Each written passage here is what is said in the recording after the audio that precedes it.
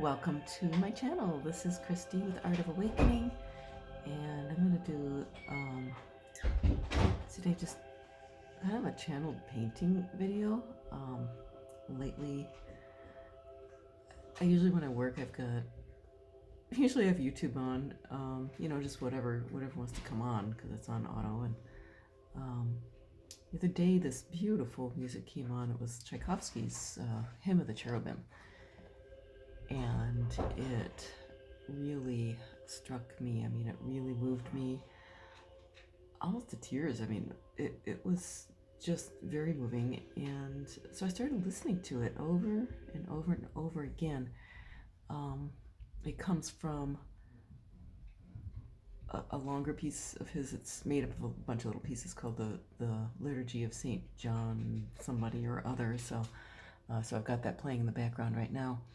Um, but what it did was, I think, you know, sometimes the music, well, music and art, they all carry the energy, energy within it. And in this case, Tchaikovsky was definitely channeling the cherubim. I didn't know a lot about cherubim. Usually you hear about, you know, you see the little cherubs and they're very cute and quaint. Little Victorian cherubs, little babies with wings.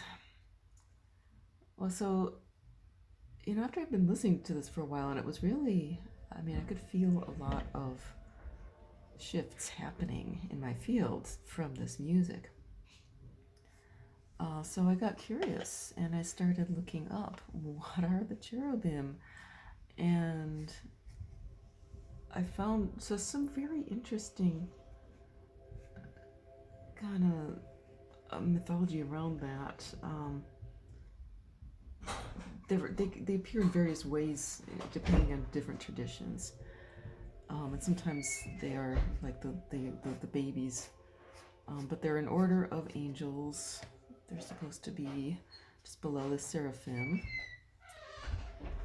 And you can look them up, but one of the things that I found was that they're not always showing up as babies. Um, and in one account, they show up as these four faced angels that guard the Garden of Eden. And and they're they're so bright you can't even look at them. They're they're very, very powerful. And so after I'd read that, know, I was going around my life and then they just said draw me. so that this is a painting that's kind of coming out of that sketch that I did. I did a sketch in my journal around that um, after they asked me to draw them. so this is a cherub. Probably not like any cherub you've ever seen before. But with the four faces, the idea is that they can go in any direction without turning. So they're they're really focused, right? no matter what direction they're going. And kind of, I'm getting a few things out of this number four. Well, first of all, the, the idea of guarding the Garden of Eden. Um, and I'm assuming I didn't, I'd have to go back and read it, but this would have been probably after the fall. Um, and by the way, you know, I, I think all all traditions, all spiritual traditions are beautiful and they all have truth in them. So I'm not like, you know, you don't have to be Christian to appreciate this. I, I really love myth of all kinds, wherever it comes from. So, um, but know, I love the symbolism of the Garden of Eden because I think that's coming up a lot lately for a lot of people. A dog hair, a dog hair over there because really, I think with the shift that's happening right now on the planet, it's really, I think the idea is, you know, we're going to be returning to that state, that state. And, and maybe that's part of what the cherubs are about when they appear as young children or babies, because that's a state of innocence and a state of, um, you know, the Garden of Eden represents really that primal um, state before corruption happens. And we see that, like in nature, nature left alone, that would be the Garden of Eden before it got messed with. And it's still there. It is still there. Like every time if you go out in the woods or go in nature, there it is. It's right there. It's it's it's we've never left it. We just have left it in our minds, right? I mean, there's been some systematic destroying of it. But I think, you know, if we start focusing on that destruction, then we only feed into it. So yes, it's we need to be aware of it, and we may need to take steps away from that destruction. You know, whatever we can do, but it's it's super important uh, because I know a lot of people who are concerned about the the earth. They really focus on that destruction, and and and they get all emotional. I mean, like the like I understand because I feel that way. You know, I I, I love the earth and I, I, I love nature and I don't want to see it destroyed and it's very upsetting. Um, but when you start feeling all this despair around it, um, that just honestly, the emotions are what we create with. And when we start creating a lot of despair around the destruction of nature, I mean, that, that honestly feeds into it. So I think part of what this is about, what they're saying here, is, you know, first of all, fear not. you know, that's what the angels always say. They say, fear not. Right? Um, and so, you know, there is this, like, yes, we're here, we've never left it. But on the other hand, there's also the sense of guarding it, right? Of, of not being able to enter. And what is that? It's like, it's it's transcending the ego because we're never going to actually really like we're always here it's always there. It, it, we've never left it but but we think we have right? The ego has left it. Our soul hasn't left it right? Our, our higher self. Or it's always been available to us. We could step into it at any time we want. But our ego has left it. And so the idea is, it's like I really get this like the wings in this thing. Um, they're like swords.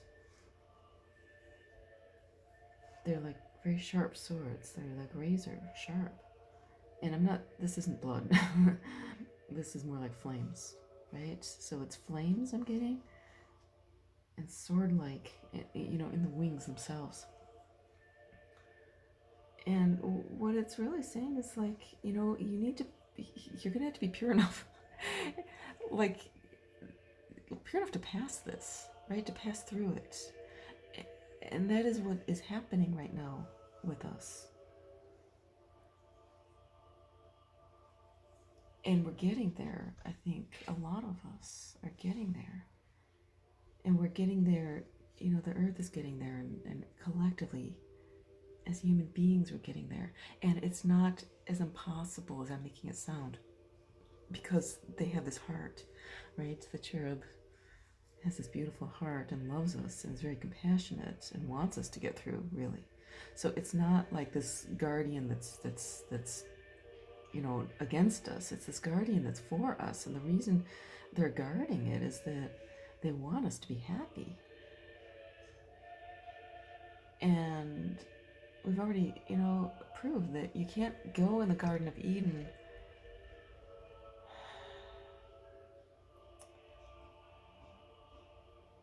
And not like you you've got to be aligned right? In order to see it for what it is and to enter. Um and so it's it's really uh, just a visual reminder that we can. We can go back. We are going back. We're already there. We've never left it. And that all this purification that we've been doing, every light worker that I know, every starseed that I know, has gone through a lot. And even if it's not in this lifetime, if you're aware enough to be watching this and to have followed me this, this far, you've had significant trauma in whether it's past lives or this life. Um, so they're saying, you know, you're doing good work.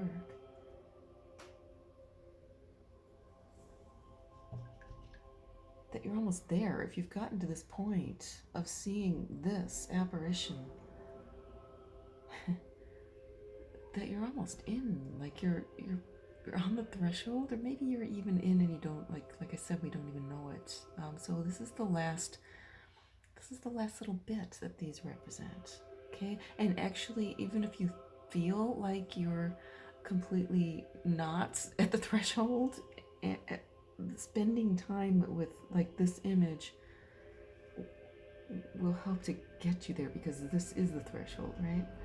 Um, I hope I'm making sense because I'm just sort of saying what's coming through and I'm using a couple different parts of my brain right now, so it's uh, it, it tends to get a little more scrambled than it should, but but I, I think I, I just being guided that, you know, doing this along with the painting, they're speaking through it, and even though I'm an imperfect translator, they're still asking me to do it, and maybe that's part of the lesson.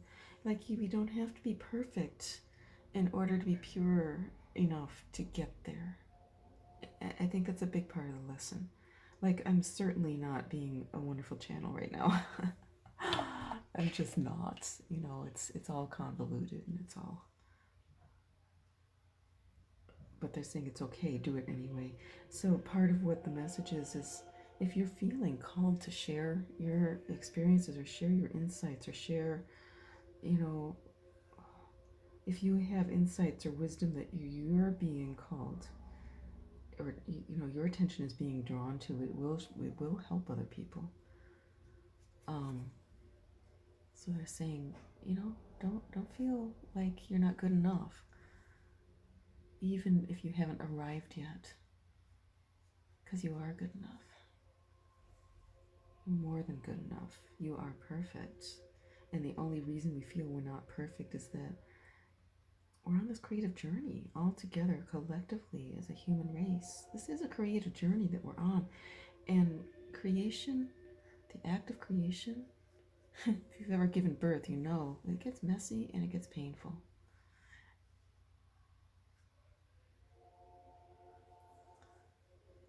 But that's what they're saying, though, is like, you know, you, you are perfect.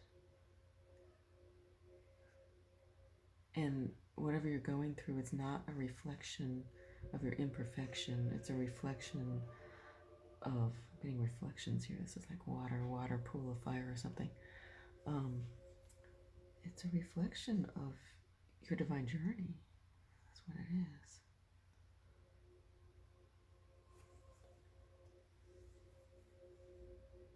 So, part of the lesson is gratitude.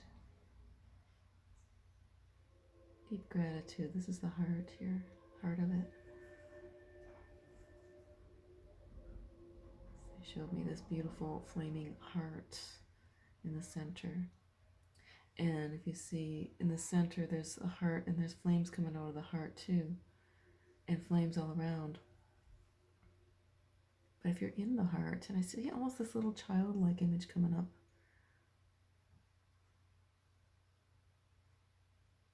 from the heart. And right there in the heart, you're safe. It's a safety zone. Okay, so being in the middle, like this number four, four faces, you can't see the other face because I have to, I'm not doing this in two dimensions, but it's, it's a four faced angel. And four is a number that is associated with the angels or the archangels it's a very powerful number. It stands for, uh, it represents like solidity and stability and, you know, security, safety, amongst other things. Um, so, so this is touching on the idea of faith and trust. It's trusting. Like, if you've been drawn to watch this, something drew you there. You were listening to your higher self. You were listening to the guidance to bring you here. And that guidance is going to bring you anywhere you need to go. It's always there for you. It's always supporting you.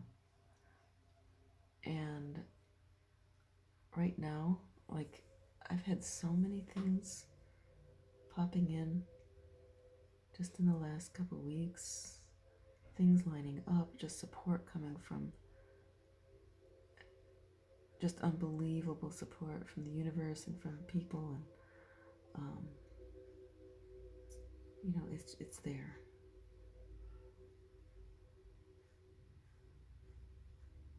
And the gratitude is key because when you start really feeling into that gratitude and the encouragement is really feel the gratitude okay? Because sometimes we use our minds and we think things.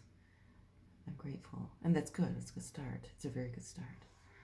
But when we start getting the emotions involved, so if you have a, like a gratitude affirmation, you can make it so much more powerful by really feeling that gratitude within you. Taking the time to really, you know, start with like feeling what does gratitude feel like? And it's like a little exercise. You can you can be still one night, one day or something, and lie down and and um, think of something you're extremely grateful for, and really pay attention to what that emotion feels like. And that is the frequency of gratitude. And you can learn, you can train your body to respond to that frequency of gratitude if you if you practice that.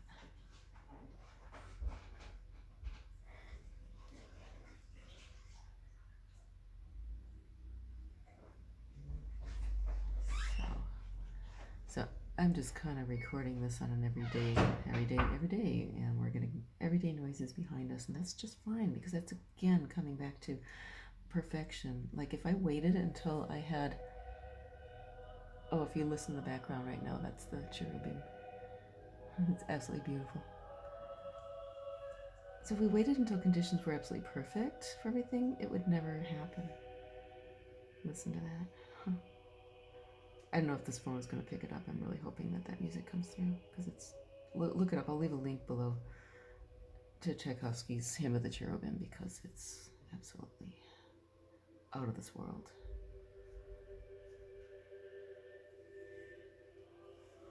Um, but yeah, it's like you know, start where you start where you are. Maybe you're called to oh, start a business or something, you know, just follow the guidance. It'll show you what to do. It may show you what to do, or it may show you, the, you know, uh, uh, bring you to a person that will help you and do it in a way that will work.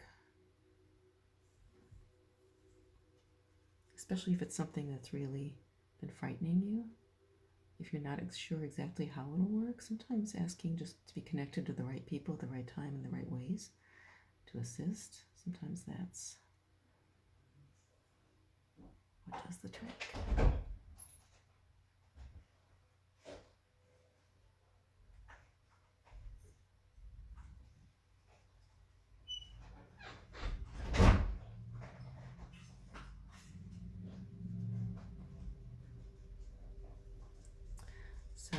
again, um, oh, the safety and this childlike innocence because that's that's where I'm thinking of bison buffalo. When there's danger they put the children the, the babies in the middle the young and musk oxen do this too and they protect them. And they just stand in a ring all around. So I'm feeling like that's what the cherubim are doing with this guarding the Garden of Eden. They're protecting. They're protecting the inner child. Because I'm getting a lot of inner child coming forward lately in in a lot of ways, and how important that is. The ability to um, like children have a natural ability to play. Idea of play is so important. It's one of the keys to getting back to this beautiful existence. That's what art is. It's play. people get uptight when they, you know, every time when I tell people I'm an artist, they, the first thing most people say is, like, "Oh, I can't draw." like, of course you can draw. I mean, it doesn't have to look perfect. Yeah, every child can draw, right? Show me a two-year-old, or a, well, maybe, well, two-year-olds, yeah, but yeah, four-year-old, right? They draw with abandon. They don't worry about it. And there's, you know, they look up, it's like, what? Look, look, look what I drew. Look, look at this. Look at this. And they're so excited. And they'll tell you about it and tell you the stories about what it is. And sometimes those are like the angels speaking through them. But then they go to school and they get trained that what they're doing isn't good enough. And they stop hearing the angels. They stop seeing them. And they stop drawing them. Or whatever it is they're drawing. it's happened to most of us.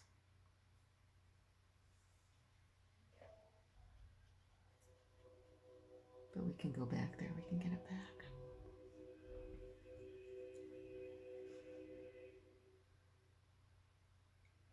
That's what this whole journey is about.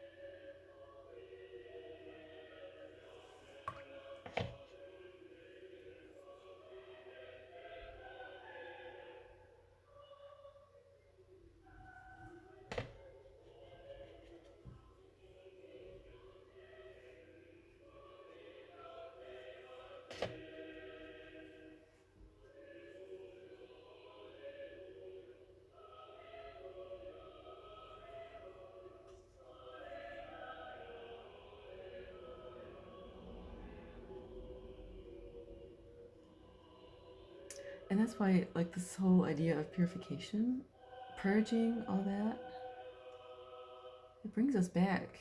It peels away the layers to the inner child and lets, you know, um,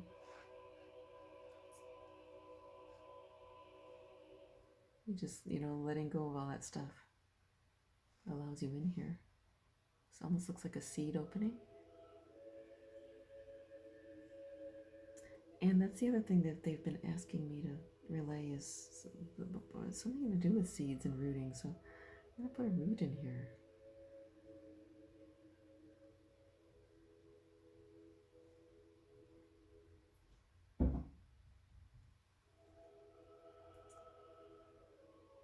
Because the connection with Earth is so important.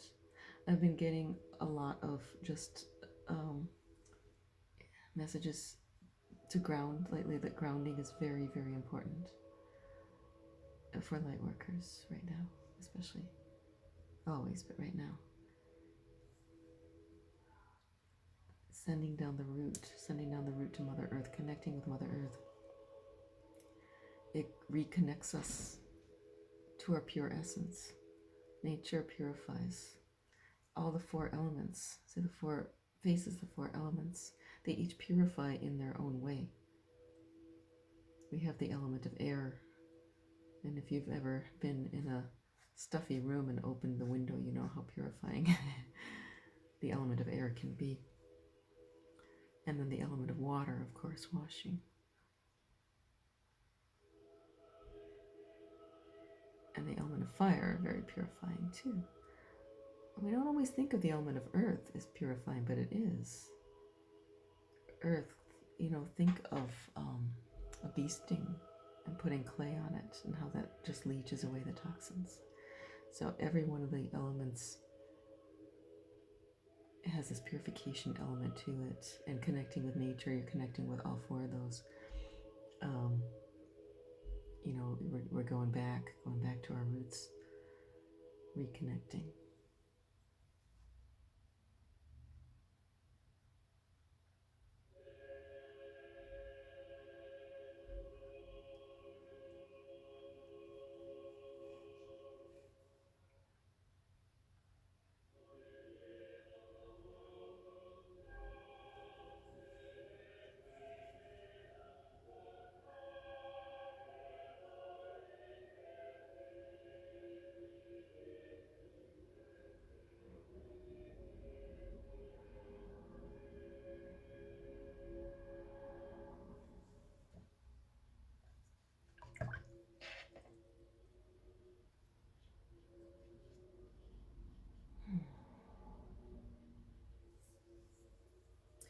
Another part of this is coming to center, right? And and and the stillness because there's so much action around here. But there's that old saying you can't fire fight fire with fire. You can't advance into this in without just being still. You've got to be still. Stillness is the only way you can get through here. That's what they're telling me. Is that when you become still, it's like you enter the heart. It's a portal to enter the, the heart without having to bypass all this stuff. And in the stillness, you can hear. They call it the still small voice for a reason. It's necessary to come to stillness. Our society does not value stillness very much.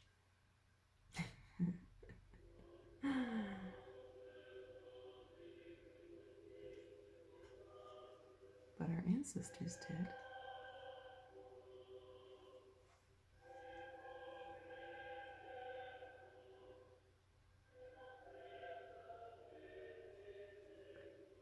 So you can connect with the ancestors sometimes. It can help.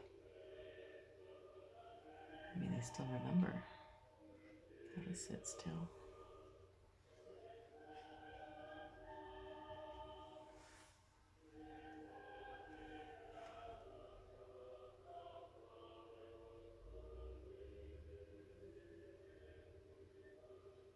Well, I do not know if this is done or not. I may go in after it dries and work on it more. But it feels like this video is done. Maybe not. Maybe I'll just get a little more violet in there. Maybe Violet is asking for violet before I leave. It's kind of reminding that the violet flame is available. And if you're not familiar with the violet flame, it's very easy. You just kind of visualize yourself in violet fire. And and what that is is it just transmutes. It's a, a it's like this pure grace kind of thing that there's a lot of ways you can use it, but um, it's grace because we aren't, you know.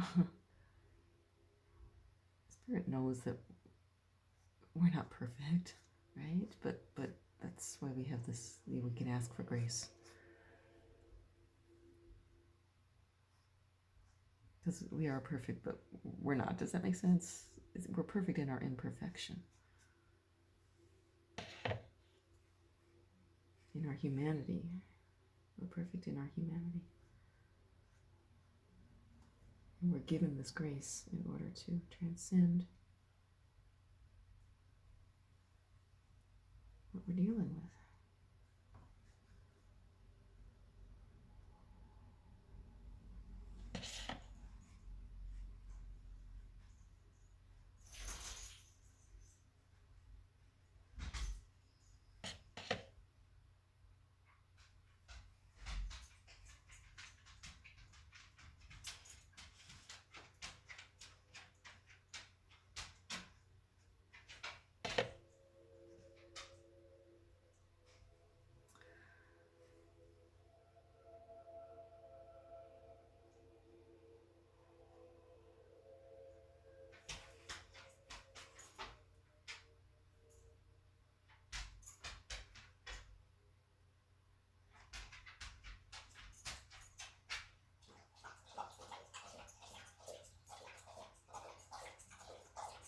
Can you hear my dog? He's being silent for a while. And some people would probably have dropped off getting bored with the silence. That's okay. And maybe there's something better that they could have been doing right now, you know, but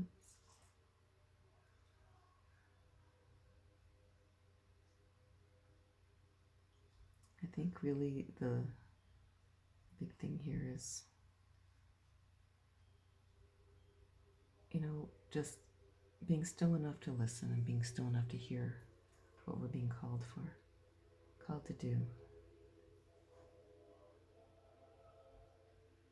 And that it's probably closer than we think. In fact, it's right, you know, you're available.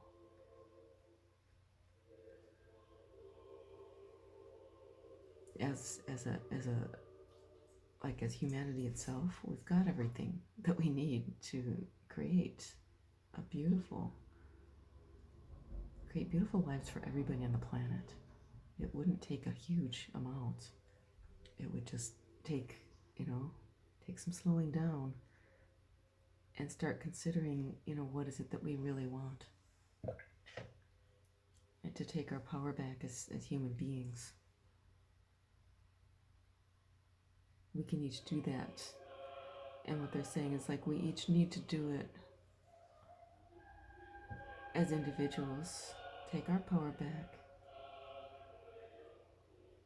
And part of it is getting off that treadmill of gotta go, gotta go, gotta go. Because you're gonna find as you slow down, you're gonna get more and more and more traction so that you will find things happen so easily without having to, you know, run ragged.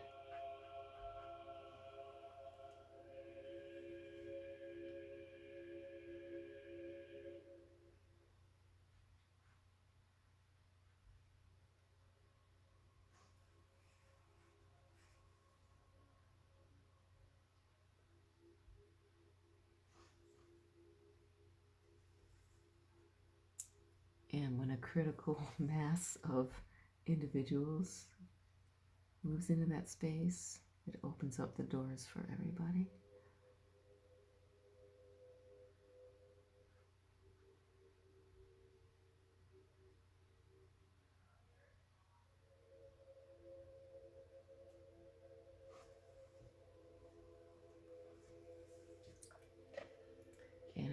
Last thing I'm going to do is I'm going to put some gold in here because I'm seeing this little child in the middle. Get some gold in. I gotta go get a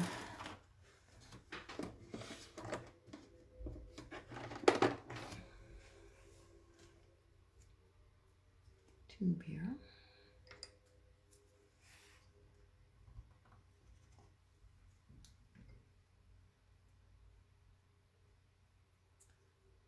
This is designer's gouache. It's uh,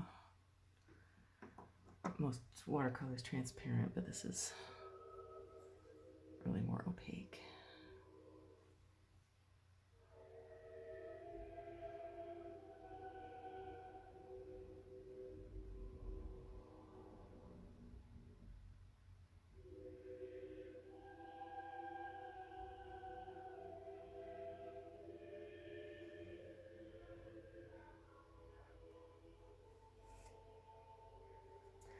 This may not show up too well on the video, but in person it's going to be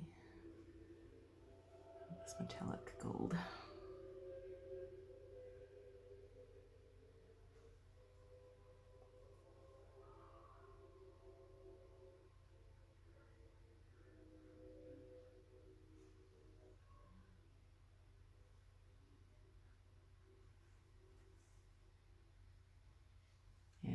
Actually go in and put some iridescence in the rest of it as well.